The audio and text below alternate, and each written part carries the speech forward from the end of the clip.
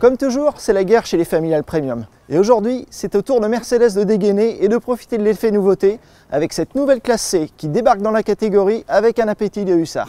Et pour croquer ses rivales, elle peut compter sur une construction allégée qui lui permet d'économiser de précieux kilos sur la balance, des moteurs toujours plus sobres et une pluie d'équipements technologiques. Est-ce que ce sera suffisant pour malmener les Audi A4 et BMW série 3 On va le savoir tout de suite en allant l'essayer dans l'arrière-pays de Marseille. Pour dominer ses rivales, la classe C se donne les moyens de ses ambitions. En utilisant de plus en plus d'aluminium dans sa carrosserie et grâce à sa construction allégée, elle pèse pratiquement 100 kg de moins que sa devancière. Jouant les filles de l'air, cette classe C est aussi une des familiales les plus aérodynamiques du lot. Son CX de 0,24 participe à abaisser consommation et émissions. Avec ses dimensions majorées et sa farouche volonté de monter en gamme, la classe C en arrive à copier sa grande sœur.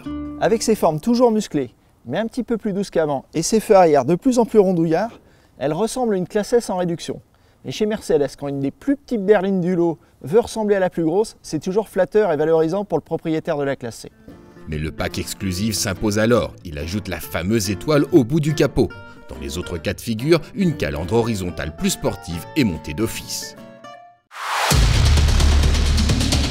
Pour soigner ses prestations dynamiques, la classe C s'offre un nouveau train avant à 4 bras et peut recevoir une suspension pneumatique.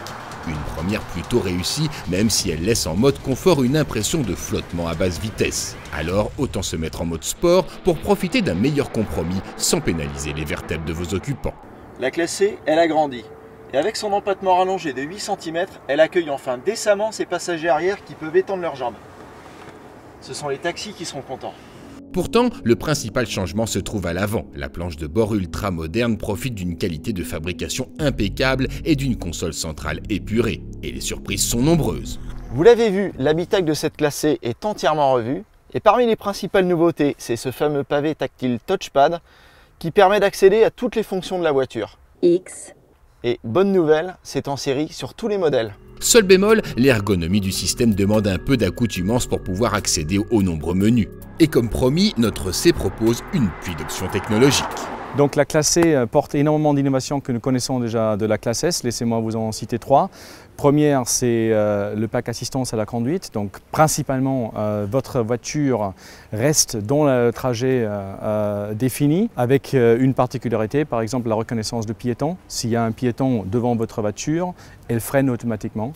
Deuxième innovation, c'est une caméra à 360 degrés. Vous voyez tout ce qui se passe autour euh, de votre voiture. Troisième innovation, c'est l'affichage tête-haute. Donc vous n'avez plus besoin de regarder vos instruments, mais vous restez les yeux braqués sur la route. Donc là aussi, un aspect sécurité et un vrai niveau euh, Mercedes et donc l'étoile. De quoi transformer cette classe C en véritable merpoule, mais y a-t-il encore un pilote à bord? Rassurez-vous, la réponse est oui, le conducteur n'est pas oublié, loin de là. Alors évidemment, cette nouvelle classée, on l'attend au tournant. Et sur un itinéraire sinueux comme celui-ci, c'est un vrai bonheur, avec un châssis précis, agile, plutôt enjoué, qui donne tout de suite le sourire à son conducteur. Surtout que le V6 de cette version 400, il pousse bien volontiers la chansonnette.